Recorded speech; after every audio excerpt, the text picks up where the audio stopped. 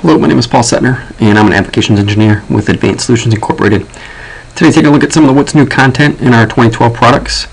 And today, we're going to turn our attention to Autodesk Inventor 2012 and one of its newest capabilities, the iLogic Form Builder. Uh, it's a great new addition. It's going to start to help build on top of the already existing rich iLogic content within our designs and basically allows the end users to utilize those iLogic models a lot more intuitively uh, gives them the options at their fingertips and gives us the ability to basically create easy dialog boxes and menus for end users to work with.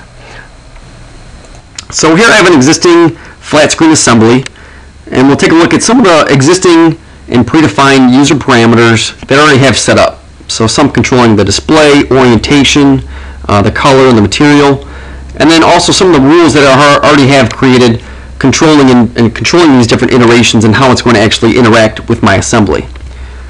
So using these parameters and my rules, I can take this to the next level and start to develop a nice user-friendly custom form so that my end users, the designers, the engineers can start to get those design requirements from sales perhaps and as we start to manufacture our different products that come in a more iterative uh, set of standards, we can develop this custom dialog box to make the whole process much more enjoyable, much easier for the engineer or the designer who needs to basically process and develop that custom iteration.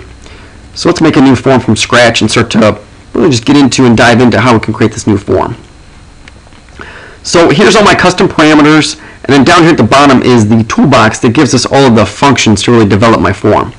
So it's all built on top of Visual Basic and VB.NET, prior uh, programming knowledge, it's, it's really kind of hard to go and develop a, a, new custom dialog box inside of Visual Basic. So this really takes that prerequisite and really throws it out the window and starts to make this process a heck of a lot easier.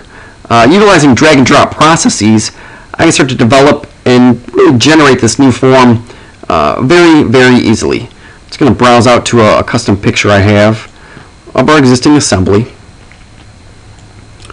Let's add a few tab groups so that the end user can basically just swap out which tab he wants to make changes to. Let's give it a few titles so they know exactly which tab to go to to change the specifications that they want. I'll simply grab some of my parameters. So I want color under my physical list. Let's grab material. The extension of our assembly, which way our display will be facing. Let's also add a few static options. So let's say the height of one of our link arms, and then also the size of the monitor we're going to want. And again, watching how dynamically the form will start to update, let's add a few quick options to this to this form. So very easily starting to come down to our behavior of this type. So I can say, well, I don't want a combo box. Let's make one of these a radio group. I want three different columns so it's, it's nicely displayed across my form. Also add a quick tooltip.